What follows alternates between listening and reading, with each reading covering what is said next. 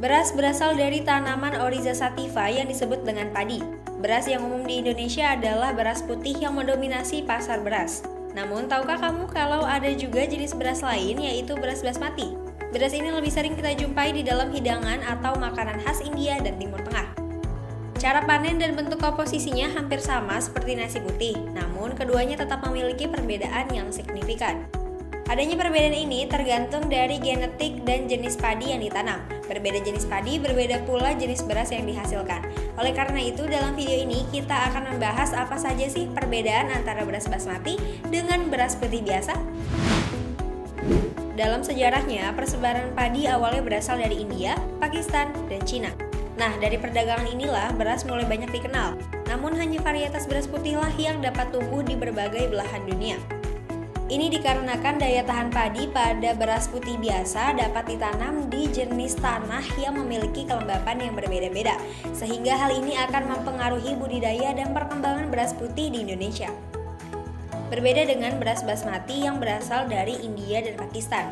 Beras basmati ini kabarnya hanya dapat tumbuh di utara India dan Pakistan saja, terutama di kaki pegunungan Himalaya, sehingga beras basmati tidak banyak dibudidayakan di berbagai negara dan tidak ditanam oleh petani di Indonesia. Ini menjadikan beras basmati sebagai beras impor yang banyak digemari. Namun saat ini di Indonesia sudah mulai mengembangkan beras basmati untuk dibudidaya, termasuk Cairo Food yang sudah berhasil membudidayakan beras basmati di Cianjur, Jawa Barat. Namun masih dibutuhkan waktu untuk meningkatkan hasil panen seperti pupuk dan pengolahan pasca panen. Semoga hal ini bisa menjadi langkah awal agar Indonesia dapat mencukupi kebutuhan konsumsi beras basmati domestik dan menjadi salah satu produk ekspor. Mungkin sudah banyak orang yang mengetahui perbedaan beras basmati dan beras putih terletak pada bentuknya. Pada bentuk beras basmati, semua orang akan melihat ukuran lebih panjang dibandingkan beras putih biasa. Beras basmati juga termasuk dalam kategori long grain rice karena ukuran yang lebih panjang dan lonjong, juga bentuknya yang lebih ramping. Beras basmati memiliki silindris yang lebih kecil dibandingkan beras putih biasa. Sedangkan pada beras putih bentuk silindrisnya tebal juga lebih pendek dan gemuk. Keduanya sama-sama memiliki ukuran berbeda setelah dimasak. Perbedaan selanjutnya terletak pada tekstur bulir beras yang sudah matang. Bila kamu melihat olahan makanan dengan menggunakan beras basmati, maka bulir-bulir berasnya terpisah dan tidak menempel satu sama lain. Ini dikarenakan pati dalam beras basmati tidak terlalu banyak. Sedangkan pada beras putih biasa, kebanyakan bulirnya bisa menempel satu sama lain dan tidak terpisah-pisah. Penyebabnya tentu berkebalikan dengan beras basmati, di mana pati yang dimiliki oleh beras putih biasa lebih banyak sehingga terkesan lebih pulen. Secara umum banyak jenis beras yang memiliki warna putih, tetapi sebenarnya warna putih pada beras berbeda. Warna yang berbeda-beda diatur secara genetik akibat perbedaan gen yang mengatur warna aleuron atau lapisan terluar beras, warna endospermia atau tempat pati yang terkumpul, dan komposisi pati pada endospermia tersebut. Beras putih biasa berwarna putih agak transparan karena hanya memiliki sedikit aleuron, dan kandungan amilosa umumnya sekitar 20%. Misalnya pada beras putih panen wangi, warnanya tidak berwarna putih bersih. Sedangkan pada beras basmati, warna putih lebih cenderung putih susu dan lebih pekat, serta sedikit mirip dengan warna beras ketan. Umumnya, semua beras basmati memiliki warna yang lebih pekat karena kandungan amilosa yang lebih sedikit. Perlu kamu ketahui bahwa beras basmati yang belum mengalami proses penggilingan memiliki warna coklat. Hal ini dikarenakan adanya kulit ari atau beratnya masih ada. Namun, warna ini akan berubah menjadi warna putih bersih setelah mengalami proses pengupasan kulit ari atau proses polishing. Perbedaan beras basmati dan beras putih biasa juga bisa dikaitkan dengan kandungan nutrisi.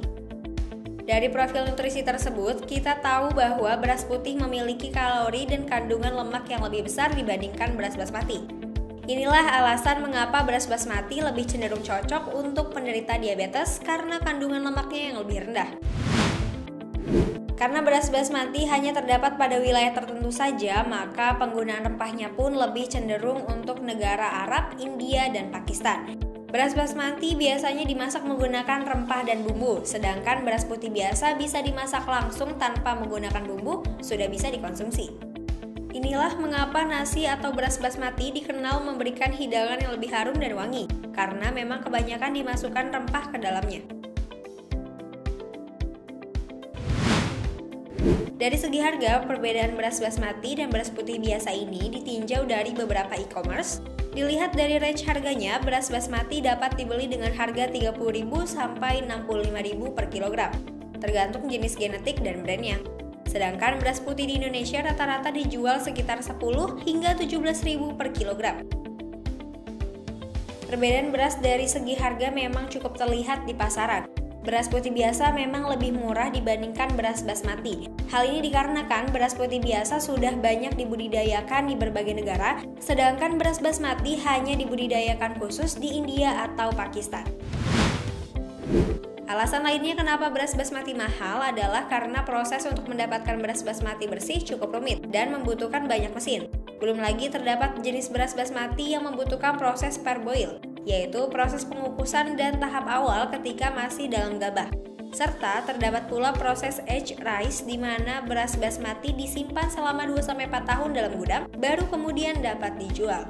Kebayangkan betapa rumitnya memperoleh produk beras basmati? Baik beras basmati maupun beras biasa, keduanya memiliki keunggulan masing-masing yang bisa kamu sesuaikan dengan kebutuhan kamu. Jika kamu mencari beras dengan harga terjangkau untuk dikonsumsi harian, maka beras putih biasa bisa menjadi pilihan tepat.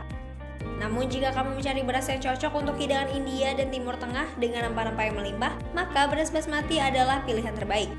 Tak hanya itu, jika kamu penderita diabetes, maka akan lebih baik jika menggunakan beras basmati dibandingkan beras putih biasa. Hal ini dikarenakan beras basmati memiliki indeks glikemik yang lebih rendah. Indeks glikemik beras basmati hanya sekitar 43 hingga 60 saja, sementara indeks glikemik beras putih sekitar 89 yang tergolong cukup tinggi untuk memicu kenaikan gula darah. Nah, sekarang sudah tahu kan perbedaan beras basmati dengan beras putih biasa? Pilih sesuai dengan kebutuhanmu ya. Jangan lupa untuk kunjungi official website dan YouTube Kairo Food karena masih banyak artikel dan video informatif lainnya. Thanks for watching and see you next video.